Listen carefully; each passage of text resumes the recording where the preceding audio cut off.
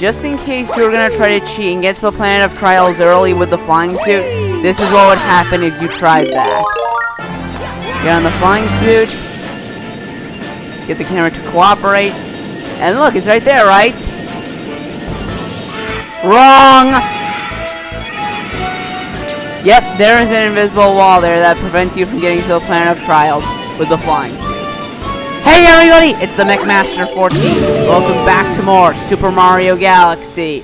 In the last episode, we completed the last Dome Star, and we start here on the Planet of Trials with the yellow section.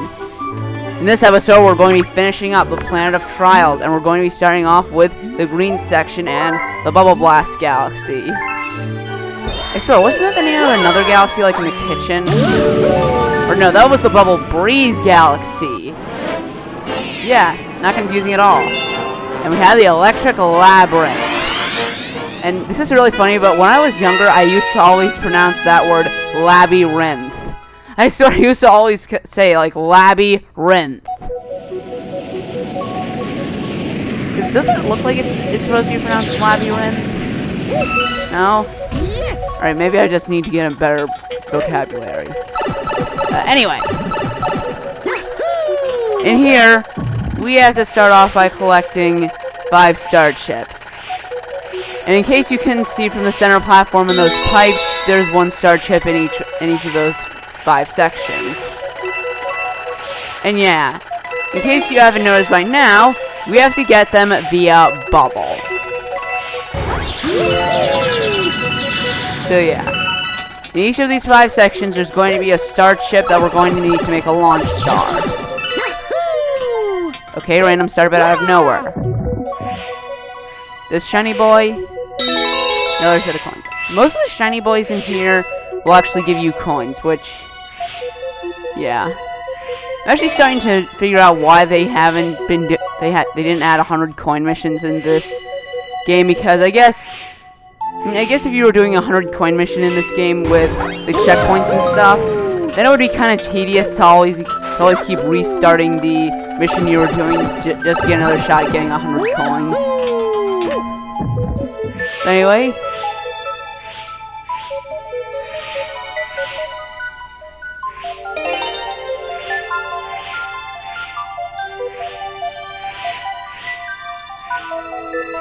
Just want to be really careful here.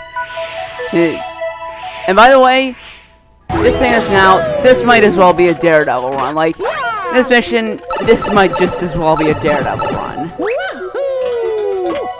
Because, well, you can see that black hole that's been completely terrorizing me. Hmm. You fall into that, well, if you get hit by anything, your bubble will break and you'll fall into that black hole. Because apparently being in a bubble uh, prevents you from falling in black holes. Alright, there's one more. There's one more chip.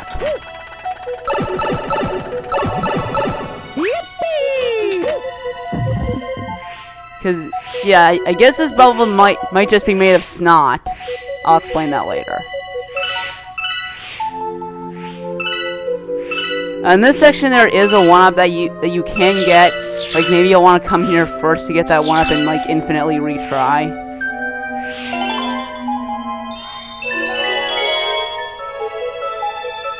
All right, let's take it slowly. I don't want to fail now that I've gotten all the star chips.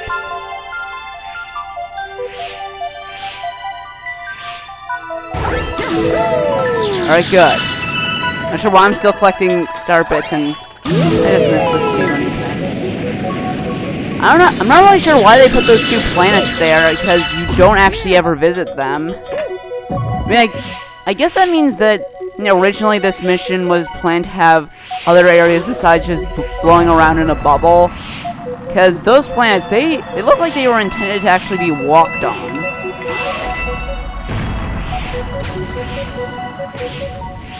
And yeah.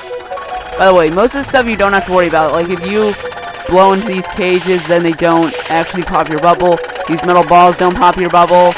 Even though they should. I'm saying. Okay, that was kind of bad. Bullet bills will definitely pop your bubble.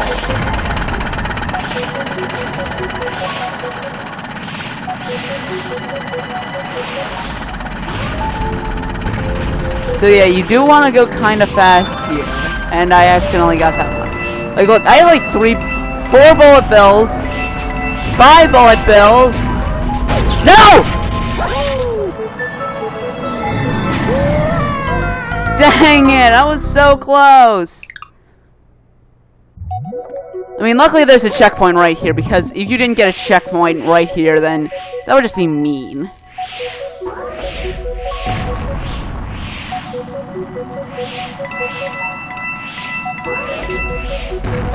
If you go fast, most of the time you can just get out of the way of those bullet bills before they see you. But that's only if you're going fast.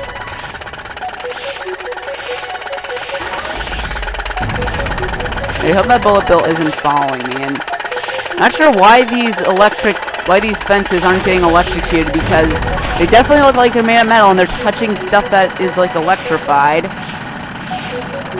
Oh, and luckily these these little fence things act as barriers from the bullet bills because if a bullet bill touches one of them, then they just explode. Okay, so I have two bullet bills, three bullet bills, four bullet bills, five bullet bills, six bullet bills, seven bullet. No, no, what? Okay, I hope I don't run out of lives here. Luckily, this first section is kind of easy.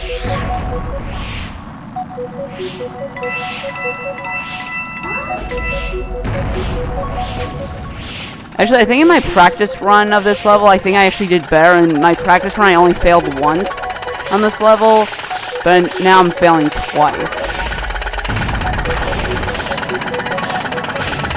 Alright, luckily that bullet bill exploded.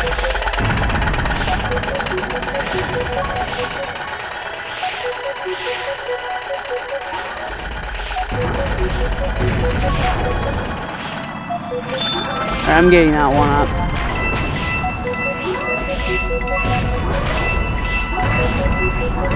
Sorry about the lack of commentary, just trying to concentrate. Yeah!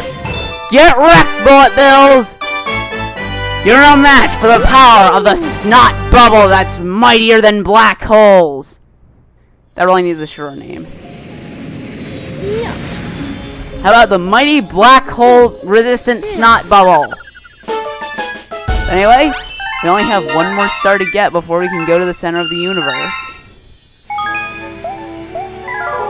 Next time on Super Mario Galaxy, we're going to be getting that star. Nah, I'm kidding. I'm not going to end the video after like, after like six minutes. We're going to head to the last area. Wanna go to the Loopdeeswoop Galaxy?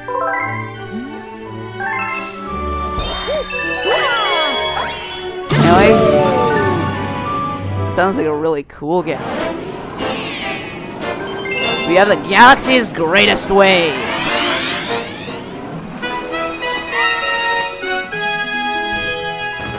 I mean, I guess some of those things are technically waves. I mean, I guess it, yes, it's definitely a mighty wave.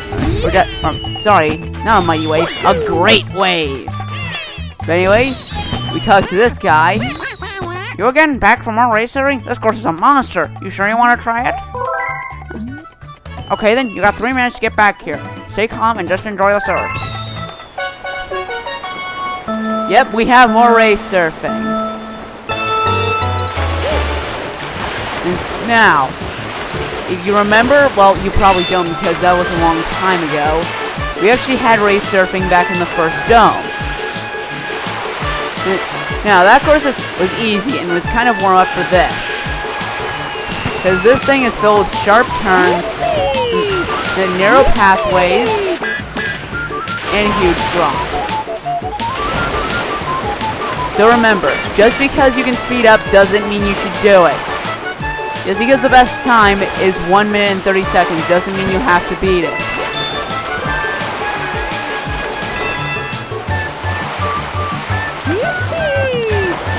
Because, yeah, these pathways are quite narrow, and I wouldn't recommend speeding up unless you're very skilled with the motion control. Wait, oh my god, this is my this is my favorite part. Whee! I'm upside down! This water is the laws of physics! Yay!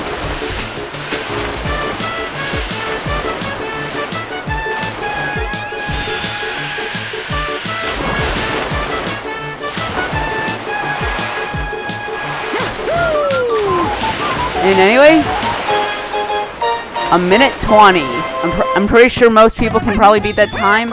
So, post a video response if you want to. But anyway, there's our star. And if you look over there, before we get our star, I like how it's on the top of the podium. There's a little sling star here. This is a really fun secret, and you can use it to get a ton of star bits. So you might want to use it to get some Hungry Luma missions done.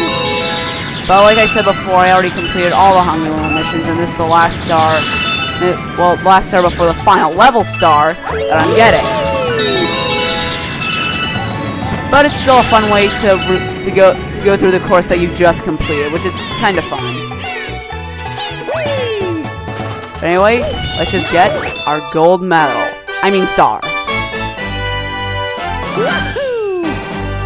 Anyway,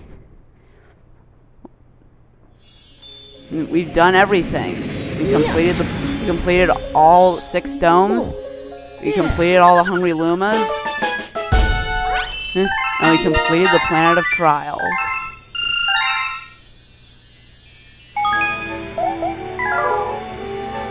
Oh. Now, there's nothing left to do to go to the center of the universe to help our special